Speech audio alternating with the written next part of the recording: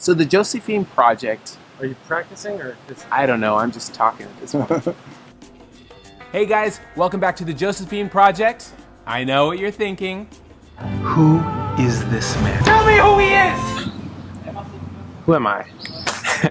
My name is Jeremy Pusey. I am a missionary here in Europe. I've been working with Ted Cox for a number of years now. to have a real father, someone who protected me.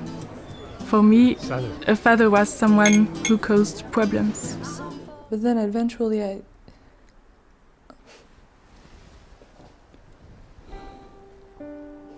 You hurt me. Uh, we're here in the middle of Kandern, Germany. Um, little town, but big things happening here. Uh, just down the road, a refugee center was built two years ago. Temporary housing for refugees pouring in from Syria, Afghanistan. Follow me. Let's go. Let's go downtown and see what we can, what else we can see. Um, yeah, that was. Uh, we have a bunch of people that we know that are headed there right now to the refugee center to work um, with refugees, telling them stories, listening to their stories, being present, uh, loving on them. It's been like an adventure. One of the things that I am super impressed by uh, taking biblical principles, biblical stories, and wrapping them in the context of today's problems. I think it's going to touch people and it's going to create a bridge um, where we look at the story of Joseph um, and we start to see the truths and principles and how they can be applied to the here and now.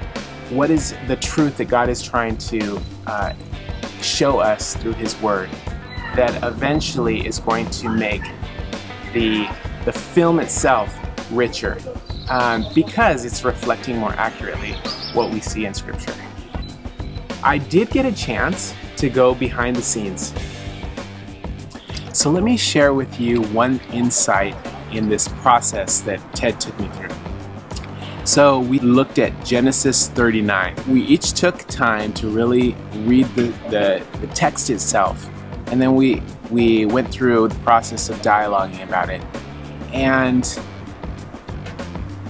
there was this one insight that really popped out at me that Joseph still had a relationship with Potiphar even after um, he was falsely accused and put into prison.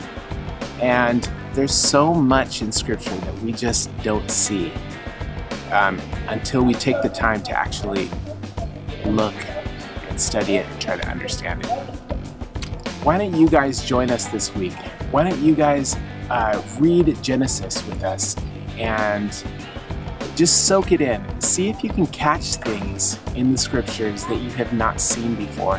And drop us a line in the comments below. And I want to ask you guys not to forget to pray for the next steps, for discernment in how you know how we should proceed.